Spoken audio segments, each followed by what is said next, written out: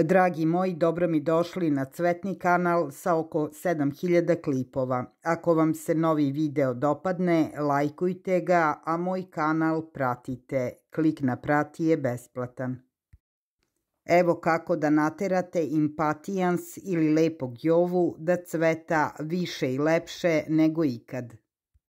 Impatiens ili lepi jova, kako je ovaj cvet poznat kod nas, je biljka za gajenje u senci. Bilo da je zasađen u korpama ili saksijama na terasama ili u vrtovima, on daje predivne cvetove koji će trajati celog leta. Lepi jova je biljka koja će vaš vrt ili terasu ulepšavati do jeseni svojim predivnim bojama. A evo šta vam je potrebno da biste naterali impatijens da cveta više i bolje nego ikad. Impatijens je jednogodišnja biljka koja se lako održava. On će proizvesti stotine cvetova po jednoj biljci i svi ti cvetovi zahtevaju mnogo hranljivih materija i zemlje. Te hranljive materije treba redovno dodavati da bi biljka cvetala do kraja sezone. Kao i kod svih jednogodišnjih biljaka, tečna đubriva su zaista najbolji izbor za njih. Tečna đubriva se brzo apsorbuju biljke preko korena i lišća. Ovo omogućava biljci da pošalje dosta resursa za pokretanje novih cvetova. Dozu tečnog đubriva treba razblažiti na polovinu, ali je redovno dodavati svakih 10 do 15 dana.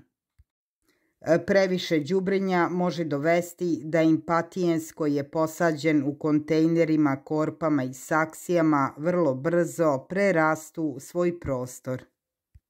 Kada je u pitanju đubrenje impatijensa, fosfor je tajna uspeha cvetanja.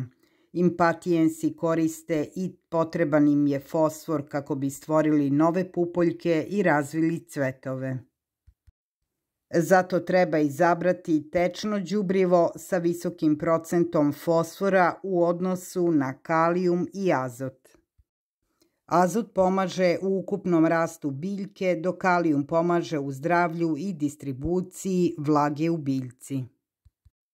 Zbog toga je bitno imati od svakog sastojka pomalo u đubrivu, ali najviše fosfora, koji će postaviti scenu za masovno cvetanje. Za najbolje cvetanje impatijensa tražite tečno đubrivo sa najmanje 3 put većom količinom fosfora u odnosu na azot i kalijum. I ne zaboravite da dozu tečnog đubriva uvek razblažite na pola preporučene doze. Ovo će vam omogućiti da prihranjujete biljke svakih 10 dana, a to neće nadjačati vaše biljke, već će hranljive materije da dođu stabilno i snažno za stalno cvetanje. Osim đubrenja i pravilno zalivanje je jedan od ključnih uslova za redovno cvetanje.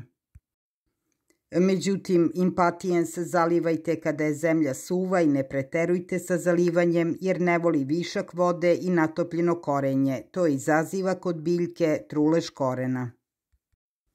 Bitno je da ne dozvolite da se biljka previše osuši između dva zalivanja. Čim se površinski sloj zemlje osuši, vi zalite impatijense. I ono što ne smete nikako zaboraviti, impatijens je biljka senke, nikada ga nemojte staviti na direktno sunce.